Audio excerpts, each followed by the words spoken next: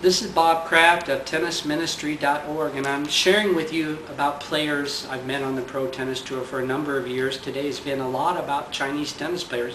Chinese players have been in the news because of Li Na's win at, at uh, uh, a Grand Slam tournament, the French Open last week. Congratulations to her. Today I'm going to talk about some players you have to have a very good memory in the year 2011 to remember them. They're Chinese tennis players. They're very important for the history of China. I've been involved uh, with Chinese tennis for the last 20, 25 years. And uh, these are some of the ones that brought in the modern game of tennis and they motivated the players that are playing today on the WTA tour. They motivated them very much, I'm sure. And one of them, I'll, I'll give you a challenge. Tell me if you know these names. Sun Tian Tian. Li Ting. Now that's probably not great Chinese if you speak Chinese, but if you're an English speaker, those names, do they mean anything to you? Well, in fact, they won the 2004 Olymp Athens gold medal in the Olympics.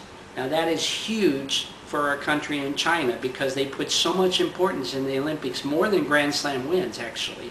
And, uh, you know, when they won the gold medal, that was written about in all the newspapers, and uh, that probably motivated the current crop of players like Li Na to be as great as she is.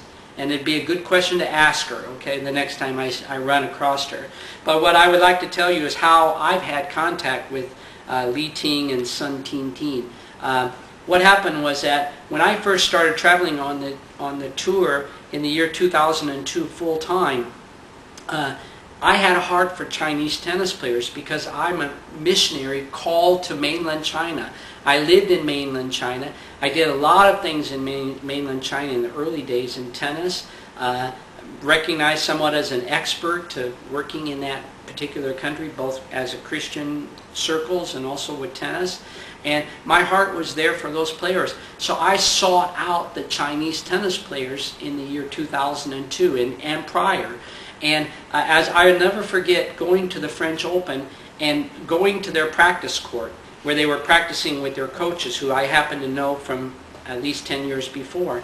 And uh, they were they were practicing. I watched them the whole time they were doing a practice because I wanted to see how the Chinese players were practicing compared to the top players in the world. And they really had their own way of practicing because the coaches weren't used to the foreign ways of practicing.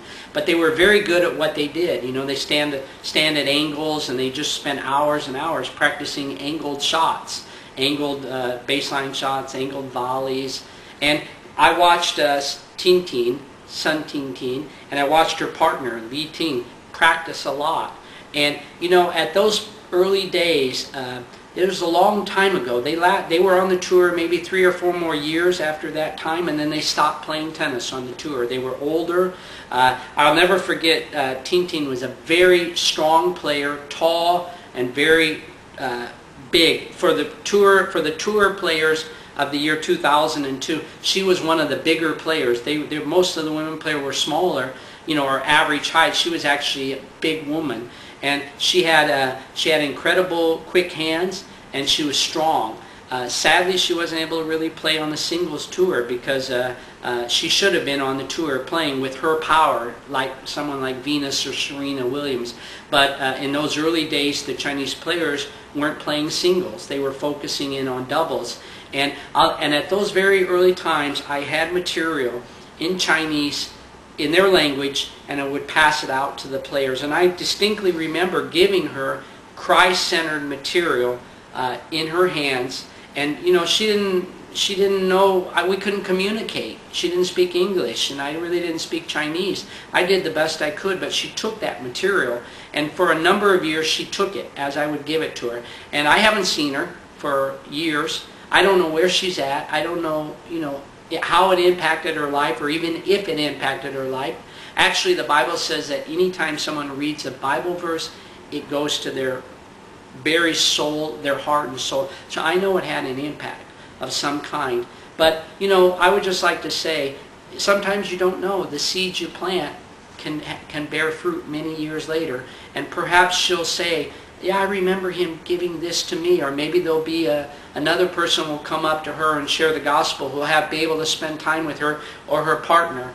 And um, we need to pray for her. Don't forget these players. It's been many years. Don't forget them. Keep praying for them. Uh, do a, do an internet search where you're searching on the internet Chinese women's tennis players. Read them. Read, pull up information on them. Pray for them. Chinese men's tennis players.